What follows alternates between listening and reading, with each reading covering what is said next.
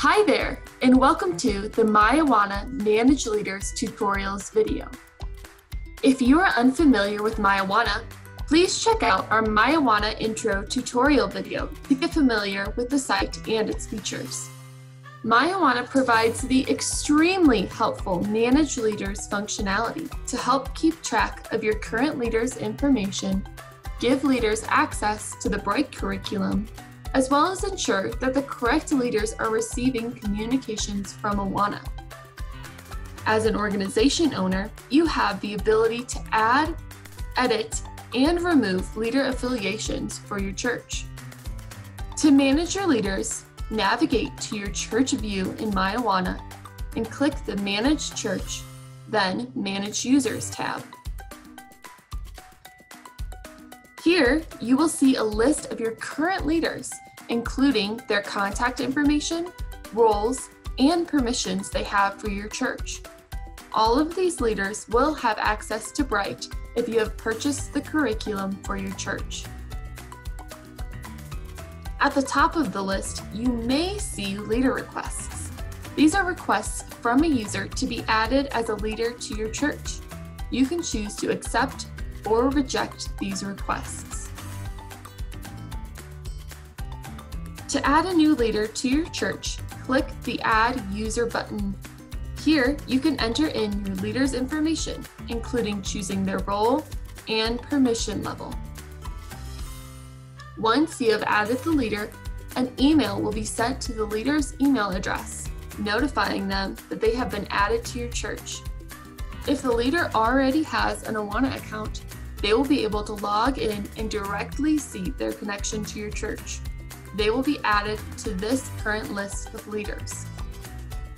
If they do not have an account, they will be prompted in their email to create an Awana account, upon which they will be able to view their connection. To view these leaders that have not created an account yet, you can choose the Pending Invitations view. If a leader's role has changed within your church, you can click the leader's profile and edit it. Here, you can change the role, permissions, and groups that your leader has. If a leader is no longer a part of your church, you can also remove them from your church to ensure that your leader list is updated and accurate. We also provide the option to add general contacts to your church. These contacts will not see any of your church information. They are purely for your own organization purposes. It is a great way to store your parent contact information in one secure location. Creating editing, and removing a contact is similar to creating a leader. When adding a contact, choose the Add a Contact option and fill out the contact's information.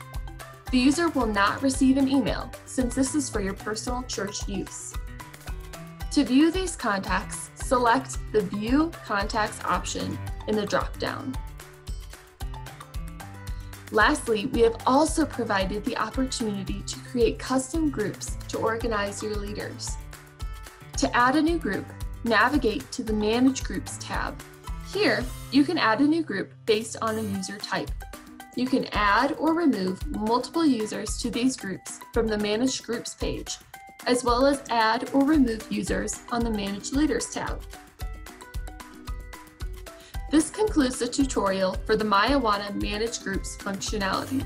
Again, this is a great way to make sure your leaders are up to date with the correct permissions and roles, as well as giving access to your leaders to the Bright curriculum.